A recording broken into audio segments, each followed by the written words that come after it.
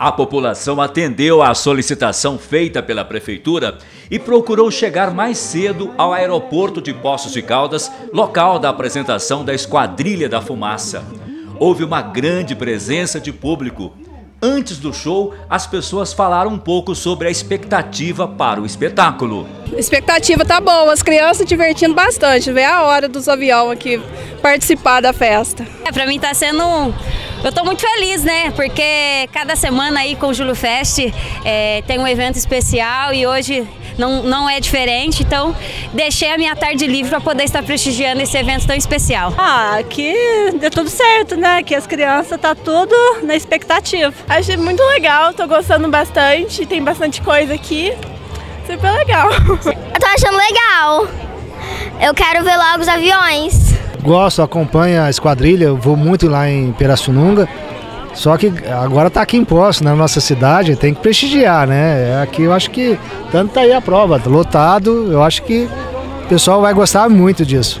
A apresentação da Esquadrilha da Fumaça foi em comemoração aos 150 anos de Poços de Caldas e também aos 79 anos do Aeroclube da cidade. Eu estou dando uma mãozinha para eles aí, para o presidente, para os demais da diretoria, porque precisa, né? Apesar da segurança do, dos policiais militares, da, do povo da segurança da, da prefeitura, faz parte do trânsito, né?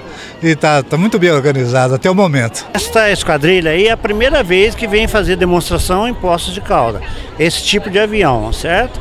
É, antigamente era o, teve 27, agora é o 29. E, então aqui em Poços de Calda é a primeira vez. É um avião maior, ele é mais veloz, mais moderno, né? tem uma série de, de diferença com relação ao anterior.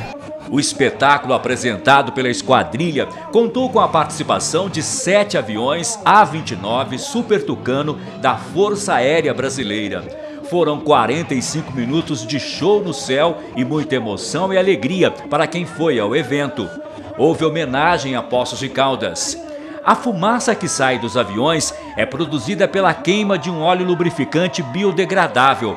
Ao ser acionado pelo piloto, o óleo é injetado no escapamento direito da aeronave e, em contato com o escapamento quente, transforma-se em fumaça. O Esquadrão de Demonstração Aérea, a Esquadrilha da Fumaça, é formada por engenheiros mecânicos e pilotos da FAB, a Força Aérea Brasileira. Este grupo realiza demonstrações de acrobacias aéreas em várias partes do Brasil e, quando convidado, também no exterior. Uma das metas é aproximar a FAB da população. A Esquadrilha da Fumaça sempre se sente honrada em participar de eventos como esse é, e hoje foi um evento muito importante né, para a cidade de Poços de Caldas. É, foi um evento muito bonito, com muita segurança e a gente pôde demonstrar todo aí o profissionalismo da nossa Força Aérea. Para a gente é um momento muito especial, né? Estar tá demonstrando novamente depois de um período de pandemia é, e é um orgulho muito, muito positivo para a gente também. Estar tá demonstrando, apresentando a FAB para toda a população daqui de, de Minas.